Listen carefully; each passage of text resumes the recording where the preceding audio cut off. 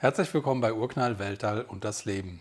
Betelgeuse hat wieder von sich äh, reden gemacht. Das ist der Hauptstern im Sternbild Orion. Erst hat er sich ja verdunkelt vor einigen Jahren. Jetzt äh, gibt es eine neue Publikation, die die Community so ein bisschen in Wallung versetzt hat. Denn die Frage ist, könnte dieser Stern doch viel früher explodieren oder ist er vielleicht sogar schon explodiert? Da schauen wir mal genau drauf. Viel Spaß!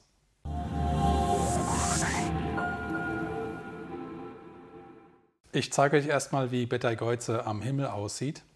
Dieses Laserbild wurde von Tankred Schmidt aufgenommen. Wir hatten das auch bei Stern und Weltraum verwendet in der Januar-Ausgabe. Auch damals ging es um ein interessantes Thema von Betelgeuse. Wir sehen ihn nämlich ganz auffällig in diesem Composite. Es wurden der Nachthimmel und die Stadt mit verschiedenen Belichtungszeiten hier aufgenommen. Und den Stern, den es sich dreht, den sehen wir hier, ein Schulterstern dieser Figur, das ist ja hier Jakobstab, der Gürtel, die Beine. Orionnebel befindet sich hier auch in diesem Sternbild. Und das ist ja eine mythologische Jagdfigur, die aus der griechischen Mythologie kommt. Betelgeuse ist wunderbar als roter Stern zu sehen. Und das war nicht immer so. Vor etwa 5000 Jahren war er gelb, sah aus wie die Sonne. Das war das Thema damals in dem Artikel. Das heißt, es gibt eine ganze Menge Sachverhalte um Betelgeuse. Die Farbänderung, die sehr interessant ist. Er gehört zu den hellsten Sternen am Himmel, die wir sehen können. Er verändert auch die Helligkeit und das war zum Beispiel auch ein Thema Ende 2019, Anfang 2020. Denn äh, die große Frage war, was ist da los? Die erste Hypothese war natürlich damals, dass er vielleicht äh, auch bald explodieren wird und dass das die ersten Anzeichen davon sind. Aber das wurde dann ganz anders erklärt. Bevor ich euch diese Details nochmal kurz zeige, schauen wir vielleicht mal auf die Eigenschaften und auf so ein paar Daten von Betelgeuse. Betelgeuse ist ein roter Überriese, Alpha Orionis genannt. Er ist 650 Lichtjahre entfernt ungefähr es ist ein recht großer Stern mit 16 bis 19 Sonnenmassen und er ist auch räumlich sehr groß. Die Größe übertrifft deutlich die Sonne. Wir reden da von 760 Sonnenradien. Wenn ihr das mal umrechnet, kommen wir da auf einen Abstand von 3,5 astronomischen Einheiten. Das heißt, würden wir da Betelgeuse in das Sonnensystem in das Zentrum setzen, würde er fast bis zur Jupiterbahn reichen. Typisch für seine rötliche Farbe ist ja, dass die Temperatur dann eher geringer ist. Wir haben ja ungefähr 5500 Kelvin bei der Sonne, die erscheint gelb und die Effektivtemperatur von Betelgeuse ist deutlich darunter, 3600 Kelvin, deshalb sieht er eher so rötlich aus. Die scheinbare Helligkeit variiert von 0 bis 1,6 Magnituden und außerdem haben wir Bilder von diesem Stern, die wir uns angucken können. Hier rechts unten zu sehen, eine echte Aufnahme von dem Stern, weil er eben doch nicht so weit entfernt ist und die Großteleskope mittlerweile doch sehr stark vergrößern, konnte man hier mit dem Instrument Sphere am Very Large Telescope, dem VLT in Chile, das Bild rechts unten aufnehmen. Die Verdunklung von Betelgeuse seht ihr hier sehr gut dokumentiert mit Aufnahmen von der ESO die wurden also vom Januar 2019 ganz links bis zum März 2020 aufgenommen. Und mit bloßem Auge sieht man schon, dass da einiges passiert. Die Form verändert sich von dem Stern und auch die Helligkeitsverteilung. Und das ist genau der Punkt gewesen. Man konnte also tatsächlich beobachten, wie die Helligkeit sich verändert innerhalb von ja, wenigen Wochen. Diese Geschichte war natürlich dann schon ganz erstaunlich. Man hatte dann das aber sehr einfach erklären können. Was wir hier sehen, ist nicht nur direkt die Sternoberfläche, sondern auch die nähere Umgebung. Betelgeuse ist recht aktiv, er bläst Staub in den Weltraum. Und manchmal kann es eben vorkommen, dass zwischen uns als Beobachter und dem Stern, der die Strahlung erzeugt, genau diese Staubwolken sich befinden und dann für eine Verdunklung sorgen. Das ist eben die äh, mittlerweile anerkannte Meinung zu diesem Vorgang, dass also hier Staub dafür gesorgt hat, dass Betelgeuse verdunkelt wurde. Danach wurde es für einige Zeit ruhig und jetzt gab es eine Publikation, die für Aufsehen gesorgt hat. Was man auch schon längere Zeit weiß, Betelgeuse pulsiert. Damit ist gemeint, dass dieser Riesenstern tatsächlich radiale Schwingungen durchführt. Das bedeutet also entlang der Richtung des Radius, er wird größer und er wird kleiner. Und worüber sich die Fachwelt einig ist, sind die beobachteten Perioden dieser Schwingungen. Die betragen nämlich etwa 2200 Tage, 420 Tage, 230 Tage und 185 Tage. Das heißt, wenn man über diese längeren Zeiträume, zum Teil ja Jahre, da hinschaut, sieht man eben ein periodisches Verhalten, was sich auch in der Helligkeit von Betelgeuse widerspiegelt. Hideyuki Sayo hatte jetzt mit seinem Team eine neue Publikation veröffentlicht, die ihr auch in der Videobeschreibung finden werdet. Und sie bringen jetzt eine neue Interpretation für diese beobachteten Perioden ins Spiel. Sie sagen, die Fundamentalperiode für diese radiale Schwingung soll diese Periode mit 2200 Tagen sein. Und sie interpretieren das so, dass sie das mit dem Kohlenstoffbrennen in Verbindung bringen. Das bedeutet, wir haben ja bei so einem massereichen Stern wie Betelgeuse alle möglichen Fusionsprozesse im Inneren am Laufen. Ihr kennt es ja, dass es so ein Zwiebelschalenmodell gibt und dann verschiedene schwere, verschieden schwere Elemente fusioniert werden im Inneren. Und insbesondere wird jetzt diese Periode von 2200 Tagen in Verbindung gebracht mit dem Kohlenstoffbrennen. Das heißt, Kohlenstoff, der fusioniert wird, stößt in dieser entsprechenden Schale die Schwingungen an und das soll die entsprechend zugehörige Periode sein. Die anderen genannten Perioden, die deutlich kürzer waren, werden als Obertöne interpretiert von dieser Fundamentalschwingung. Das bringt mich dazu, etwas zu den Brennzyklen zu sagen, denn bei den extrem massereichen Sternen mit einigen zehn Sonnenmassen kann ja als die schwersten Elemente im Inneren dann Nickel, Kobalt und Eisen fusioniert werden. Es ist dann bei dem Brennzyklus von dem Siliziumbrennen die Rede.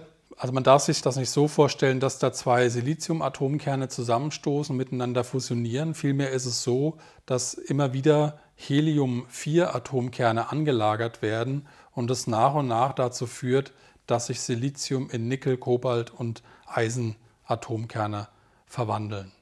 Das geht nicht weiter. Das liegt daran, dass dann diese Lichtteilchen einfach dafür sorgen, bei diesen extremen Temperaturen auch, die es dann mittlerweile erzeugt, dass diese schweren Atomkerne sofort wieder zerschlagen werden. Der Fachbegriff dafür ist die Photodisintegration und deshalb ist es nicht möglich, noch schwere Atomkerne auf diese Art und Weise zu erzeugen. Das Siliziumbrennen, was am Schluss dann auch abläuft, dauert ja nur wenige Tage bis Wochen bei diesen Supersternen. Und was bei dem Kohlenstoffbrennen zu sagen ist, dass das natürlich eine Vorstufe ist. Das ist eher auf einer Zeitskala von Jahren dann anzusiedeln. Und was jetzt Hideyuki Sayo und sein Team gemacht haben, seht ihr hier rechts in dem Bild. Also erstmal, was sieht man in dem Diagramm? Wir sehen den Anteil von dem Material in Massen. Das bedeutet, die komplette Masse wäre sozusagen, das ist ja eine dimensionslose Zahl, wenn ich sage hier 1, dann ist es die, steckt die komplette Masse da drin. 0,8 werden 80 Prozent und so weiter. Und wir sehen hier, dass diese Massenanteile natürlich jetzt variieren mit der Zeit. Und zwar, was hier aufgetragen ist, ist die Zeit bis zum Kollaps in Jahren. Wir sehen das hier für die verschiedenen Brennzyklen von Wasserstoff, Helium, Kohlenstoff in Rot Stickstoff, Sauerstoff, Neon und Silizium. Und wir sehen eben, das ist eine logarithmische Darstellung. Das bedeutet, äh, wenn wir 10 hoch 0 den Logarithmus bilden, ist es ja die 0. Das heißt, es wären dann sozusagen hier die einzelnen Jahre. 10 hoch 1 ist der Logarithmus 1. Da reden wir von Jahrzehnten. Das wären Jahrhunderte. Also bei der 5 wären das entsprechend 100.000 Jahre und bei minus 5 wären es 10 hoch minus 5 Jahre. Das heißt, hier haben wir die kurzen Zeitskalen und da links haben wir die langen Zeitskalen. Was jetzt hier zu sehen ist, dass der Kohlenstoff, das Kohlenstoffbrennen hier auf einer Zeitskala dann von Jahrzehnten sozusagen dann endet. Und was jetzt eben hier die Interpretation von Sayo et al. war, dass diese längste Periode von 2200 Tagen angestoßen wird durch das Kohlenstoffbrennen. Und wir sehen ja hier, dass diese Linie hier bei eben 1 im Prinzip dann endet. Das bedeutet, es sind nur noch, wenn dieser Zyklus zu Ende geht, dann hat im Prinzip der Stern noch etwa ja, zehn Jahre zu leben, zehn noch eins Jahre, also bei eins wird die Achse geschnitten. Und das bedeutet eben, wenn wir diese Interpretation von Sayo et al. annehmen, also sprich die beobachtete Periode in Zusammenhang setzen mit dem Kohlenstoffbrennen, und wenn wir dann weiter dem Argument folgen und sagen, diese Modelle, die hier gerechnet wurden, Sternmodelle in einen Dimensionen, denen können wir vertrauen, dann müssen wir sagen, Betelgeuse steht kurz vor der Explosion. Als das Paper veröffentlicht wurde, es ist auch nach meinem Wissensstand immer noch nicht in dem The Monthly Notices of the Royal Astronomical Society erschienen, MNRAS, es ist dort eingereicht. Ihr findet aber das Papier auf dem Archive. Hier ist die entsprechende Nummer, um das Paper zu finden. Wir werden es aber auch nochmal in die Videobeschreibung mit reinnehmen. Kurz danach gab es natürlich schon Kritik. Zum Beispiel einerseits die Frage, stimmt diese Interpretation mit den Pulsationsperioden? Der muss man natürlich folgen, weil das war in der Form neu. Dann weitere Kritik ist eben, dass die Berechnungen, die durchgeführt wurden für die verschiedenen Brennzyklen, mit 1D-Sternmodellen, also eindimensional gerechnet wurden. Es könnte eben sein, dass mehrdimensionale Effekte eine Rolle spielen und dann das Ganze modifiziert werden muss. Das Gute ist natürlich, wir werden in wenigen Jahren bzw. Jahrzehnten wissen, ob das Ganze stimmt, denn wenn er nicht explodiert, dann muss irgendwas modifiziert werden. Vielleicht kommen wir noch mal an der Stelle auf die Supernovae zu sprechen. Wie ist es überhaupt mit unserem Milchstraßensystem? Wann gab es die letzte Supernova? Wie viele Sternexplosionen finden da überhaupt statt. Das seht ihr auf dieser Folie und zwar weiß man aus verschiedenen anderen Studien, zum Beispiel kann man Aluminium 26 hernehmen. Das war damals eine Nature-Publikation. Und aufgrund der Häufigkeit dieses Materials, das ist also ein spezielles Isotop von Aluminium, Aluminium 26, wenn man annimmt, das wird ja aus solchen Supernovae erzeugt und man kann zum Beispiel mit Gamma-Beobachtungen in der Gamma-Astronomie kann man die Häufigkeit dieses Materials in der Milchstraße bestimmen. Und so kann man im Prinzip, wenn man ein Modell hat, wie viel Aluminium hergestellt wird in der Explosion, kann man so auf die Supernova-Rate schließen.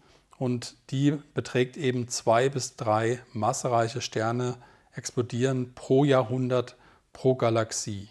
Das heißt, seit ungefähr 1600 müssten eigentlich, wenn wir mal die obere Grenze nehmen mit den drei Explosionen, vier Jahrhunderte, vier mal drei gibt zwölf. Es hätte eigentlich schon zwölf Supernova-Explosionen geben müssen, unsere Heimatgalaxis. Das ist aber eben nicht der Fall.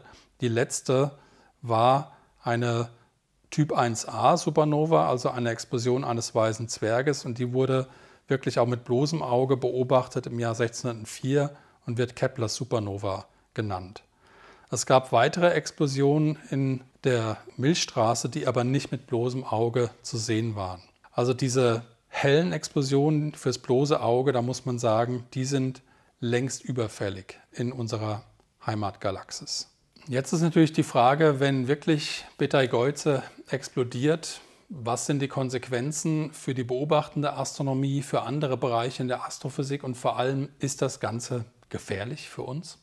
Wie gesagt, Betelgeuse ist ungefähr 650 Lichtjahre entfernt. Wenn wir jetzt davon reden, dass er auf einer Zeitskala von nur 10 Jahren explodieren kann, dann ist es nicht von der Hand zu weisen, dass er vielleicht schon längst explodiert ist.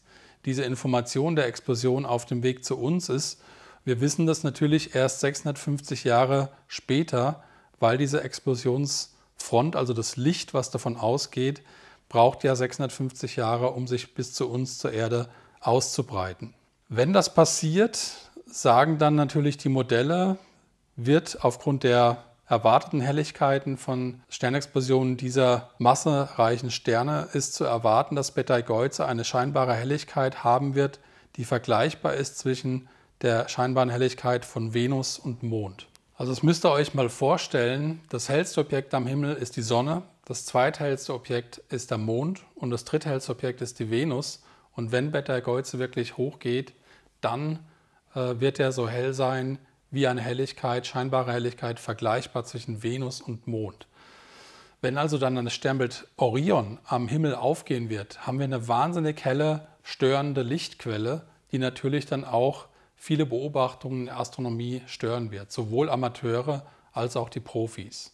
Natürlich klingt mit der Zeit diese Helligkeit ab, aber das wird erstmal einige Wochen und äh, Monate stören. Das ist sozusagen der eine Punkt, es wird eine Störquelle sein, aber natürlich ist das Ganze sehr interessant für die Gravitationswellenforschenden, denn es wurde bislang nicht beobachtet, wie eine Sternexplosion hochgeht. Supernova-Explosionen sind asymmetrisch, das ist ja der wichtige Punkt. Es ist keine kugelsymmetrische Explosion, sondern es gibt Vorzugsrichtungen. Und damit einher geht eben auch die Emission von Gravitationswellen. Es gab sogar schon vor Jahrzehnten erste Berechnungen, wie das Ganze aussehen soll. Ich hatte das auch in meinem Buch Zehn Dinge, die Sie über Gravitationswellen wissen wollen, dargestellt und hatte ein Beispiel einer Gruppe vom Max-Planck-Institut für Astrophysik, Dimmelmeier et al., hatte ich reingenommen. Das Ganze muss man sich vorstellen, es ist dann kein Chirp-Signal mehr wie bei zwei ähm, schwarzen Löchern, die umeinander kreisen oder zwei Neutronensternen, die umeinander kreisen. Das ist auch bei den Gravitationswellen so, dass wir erstmal so einen richtigen Ausbruch haben. Das heißt, die Raumzeit wird kräftig erschüttert von der Gravitationswelle. Dann gibt es so ein paar Nachschwinger und das Ganze hört schon wieder auf.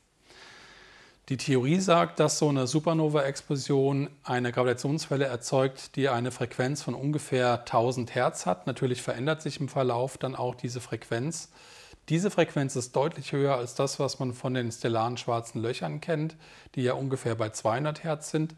Aber 1000 Hertz sind noch sichtbar mit den aktuell aktiven Gravitationswellendetektoren LIGO, CAGRA, GEO 600. Äh, das heißt, das Ganze und Virgo in, den, in Italien natürlich. Das heißt, mit diesen Gravitationswellendetektoren sollte man die Explosion von Betelgeuse sehen können. Nicht nur elektromagnetisch, sondern eben auch mit Hilfe von Gravitationswellen. Das wäre natürlich ein Wahnsinnsdurchbruch, weil es noch nie bislang gelungen ist. Weiterhin könnte man natürlich mit solchen konkreten Beobachtungen auch Explosionsmodelle testen. Also stimmen diese einfachen Modelle der Gravitationswellenemission, aber stimmt auch das, was man glaubt, was in so einer Supernova passiert in einem kollabierenden Stern. Hier werden wir dann vollkommen neue Daten haben für die Astrophysik. Ein letzter Punkt wird das Ganze gefährlich sein. Auch da gab es jetzt erst eine neue Publikation von Thomas und Yelland, würden wir auch gerne dann reinnehmen in die Videobeschreibung. Und zwar hatte ich ja gesagt, Betelgeuse ist 650 Lichtjahre entfernt. Hier kommen die Autoren zu dem Schluss, dass die kritische Entfernung bei 60 Lichtjahren liegt. Das bedeutet, ist diese Explosion 60 Lichtjahre entfernt oder näher, dann müssen wir uns Sorgen machen. Für Betelgeuse ist es dann zum Glück zu weit entfernt, als dass uns dieser energiereiche Strahlungsblitz dann gefährlich werden könnte. Wir können also dann das Schauspiel in Ruhe verfolgen, hätten natürlich dann das Problem, dass auf jeden Fall der Nachthimmel eine weitere störende, relativ helle Lichtquelle hätte. Also zwischen Venus und Mond, wie gesagt, ist die Helligkeit. Äh, das Ganze ist natürlich jetzt die Frage, wird das wirklich passieren? Aber diese Publikation hat jetzt erneut das Interesse geweckt an Betelgeuse und an der Frage, wird er bald explodieren? Und wir werden es in den nächsten Jahren wissen. Vielleicht müssen wir doch noch Jahrzehnte warten. Aber ich finde es unheimlich spannend, wie dann doch das Blatt sich wenden kann, wenn man diese Forschung verfolgt. Also wir bleiben natürlich dran und sollte er bald explodieren, dann werdet ihr es natürlich erfahren auf Urknall Weltall und das Leben. Bis bald.